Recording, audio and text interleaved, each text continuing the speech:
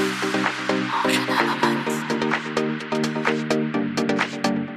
วัสดีค่ะเพื่อนๆทุกคนพวกเขาอีกแล้วเนาะเขาอยู่เพเปอร์โซค่ะ วันนี้เนี่ยเขาจะมาสุ่มการ์ด ไม่ใช่จะมาสุ่มเขาสุ่มการ์ดไปแล้วเนาะเขาสุ่มแค่สิบใบได้การ์ด SSR มาสองตัวเนาะคือแบบฟลุกมากเลย คือคนอื่นเนี่ยเขาสุ่มหลายใบมากเลยเนาะแบบเป็นร้อยสองร้อยใบอะหรือไม่ห้าร้อยใบแบบ ถึงจะได้การ์ด SSR เนาะ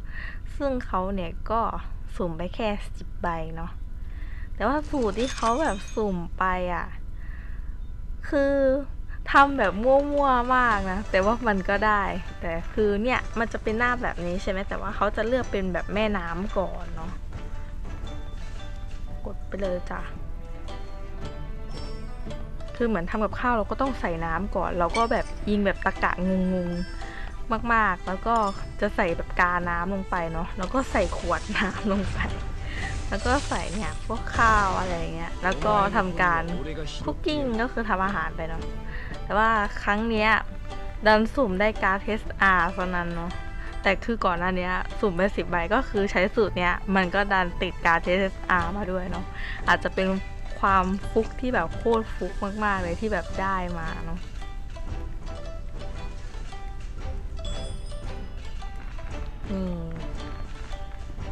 ช่วงนี้แบบมีกิจกรรมอยู่นะ เพื่อนๆก็ลองแบบเข้ามาเล่นกันดูได้เนาะโชเนนโอเมลจิจ้าเอ้ยโชเนนโอเมลจิอะไรโอเมลจิเฉยๆ นี่คือแบบติดการ์ตูนมากๆเลย เดี๋ยวค่อยแบบรีวิวการ์ตูนให้ดูเนาะอันนี้ขอเข้านอกเรื่องไปนิดนึง อันนี้มาเข้าในเรื่องต่อ ち勝てさくらに負けじと冗談や思うみんなよりちょっと見るたびに ในส่วนเนี้ย 私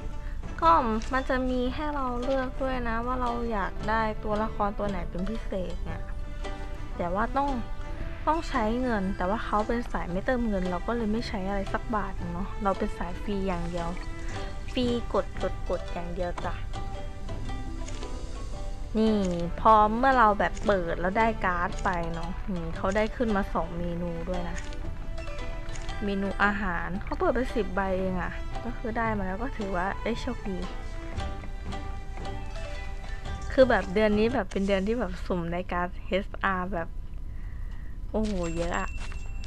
ได้แบบสามสามตัวทีเดียวรวดเลย ก่อนหน้านี้เปิดไปใบหนึ่งก็ได้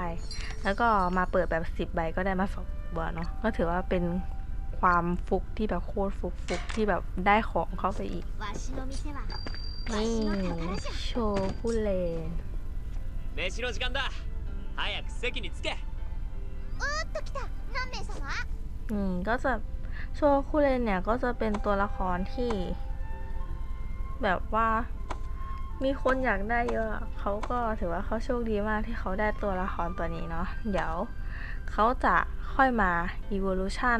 ตัวละครตัวนี้ให้เพื่อนๆดูเนาะแล้วก็เดี๋ยวก็จะมาอธิบายสกิลให้เพื่อนๆฟังในคลิปต่อไปเนาะนี่นี่ร่างต่อไป อันนี้คือเปิดให้ดูเฉยๆเนาะคือยังไม่ได้ทำการ evolution เลยเนาะอีกตัวหนึ่งได้ตัวน้องกวางเนาะคิชิโอ นี่ก็เป็นตัวที่น่ารักเหมือนกัน เป็นตัวที่เขาอยากได้มากๆเลย ก็ไม่คิดว่าจะได้เนาะถ้าว่าอย่างไงเขาก็ขอจบคลิปในการรีวิวการ์ด HSR ไว้เพียงเท่านี้นะ ถ้าว่ายังไงก็ช่วยกดไลค์ กด subscribe กดกระดิ่ง เพื่อเป็นกำลังใจในการทำคลิปต่อไปด้วยนะคะ ถ้าใครอยากให้เขาทำคลิปเกี่ยวกับอะไรแล้วก็ สามารถมาคอมเมนต์แล้วก็มาบอกได้เลยเนาะ เขาก็จะ